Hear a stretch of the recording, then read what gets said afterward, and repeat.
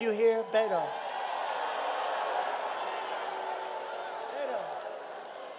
Oh, ah, that poor, well, poor pathetic guy. He was pathetic. Remember, the arms are flailing. And he came out of Texas, the great state of Texas.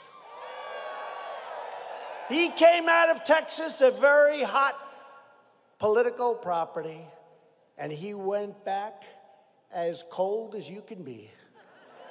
So he was a nasty guy, but he had a couple of policies that don't work well in the state of Texas, right?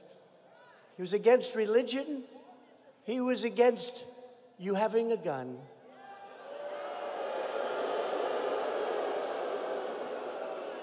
And he